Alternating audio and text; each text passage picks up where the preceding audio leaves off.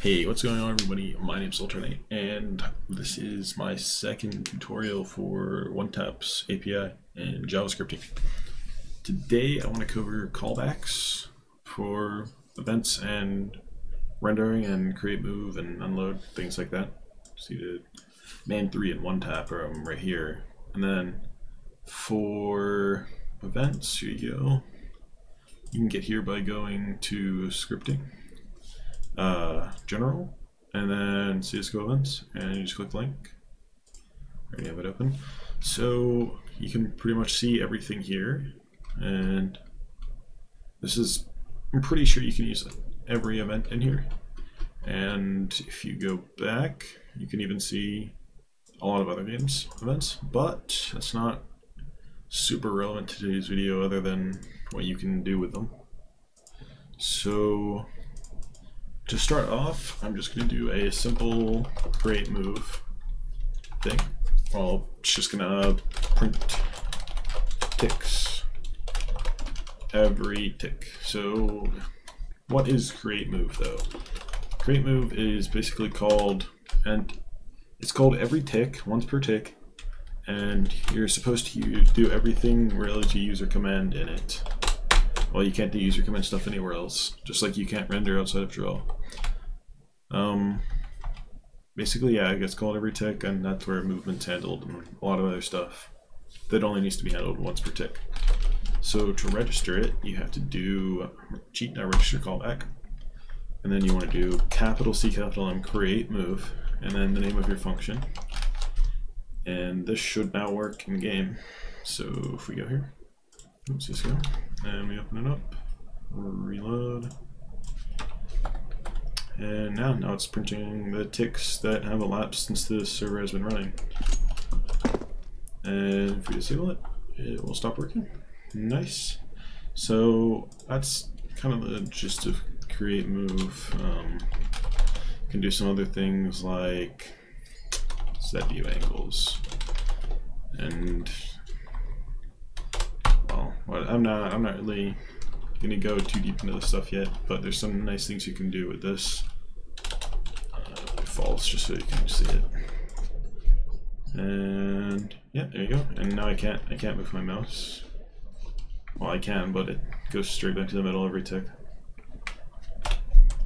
Yeah, um, that's that's pretty much it for create move. Now for draw, so we're just gonna change the name. Draw is where you render everything. So we have to do capital D draw, and then the name our function, which is draw. Oh, lowercase. And if you see now, if we try to run this, user commands must be edited from create move callback. So it's pretty it's pretty obvious like what the error is most of the time with one OneTap. It's definitely gotten a lot better since we got scripting uh, in November last year. But I digress. So for rendering, uh, we can do simple things like rectangles. Uh, so yeah, X, Y, width, height, and color. Just make it white. And if we reload the script now, there's a rectangle. It's pretty nice. Um, you can do a lot of complex things with rendering, such as making your own menu. Um, pretty much everything works in Draw, but obviously rendering won't work outside of it. This will only get called once, and on create move it'll flicker. I think it tries, but yeah, it'll say. It'll let you know. Um, but it, it will render on create move, I believe, but it will not work. Like, it'll flicker, because frames happen faster than uh, 1 64th of a second or 1 128th. But that's kind of the main thing. So I did actually set up something else to show, just to do with game events. And basically, it's a kill log of sorts. So basically, whenever the local player gets a kill, it'll print something in chat. So I'll go over this code in a second, but you see. Uh, you killed Eric with AK-47. Headshot is true and it works on every kill. and it's pretty awesome. Pretty cool that we can do nice stuff in the API. So basically how this works is we use, let me pull up the event, hold on, there we go. So we go to global offensive and player death. So all this stuff here is what gets passed in when a callback is triggered. Basically a callback is linked to an event in the game and when that event is triggered, OneTap will pass in all the information uh, and trigger the function. And when that function gets triggered, it'll have this this information available to it. So basically, you have all your event stuff, which is right here.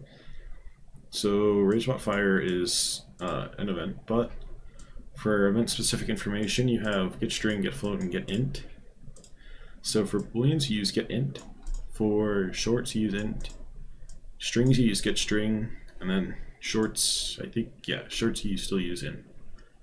But basically, I can explain this code now. For this specific event here, we use the attacker, the user ID, which was who died, the weapon, and the boolean, which is a headshot. So we get all these using the type. So attacker is a user, is an int, or a short. Well, look, uh, yeah, it's a short, just a user ID. And that's not the same as an index, but to transfer those, like to change them from a user ID to an index, you just use entity.get entity from user ID. And you can get the information, like I said, using event.getInt and the name of the data. And using all this information, I check if the attacker was the local player, and then I print out the player's name that died the weapon name and if there was a head if it was a headshot or not. So this is just like a pretty cool thing you can do with uh, OneTap and as you can probably tell you can also do something like this where it can be turned into a kill say. Obviously you probably wouldn't want this this your kill say but whatever. So we just do say, let's make this a string because make it easier. And then, I mean, Say I killed.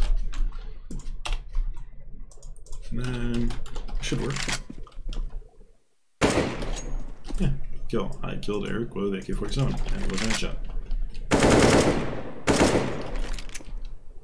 That works for other guns, obviously. It's not going to be the actual name all the time, but it does work. So it's just one example of something you can do with callbacks. Thanks for watching, and feel free to leave your ideas for my next tutorial in the comments. I have some stuff planned, but I'm not super sure what to do next, so let me know.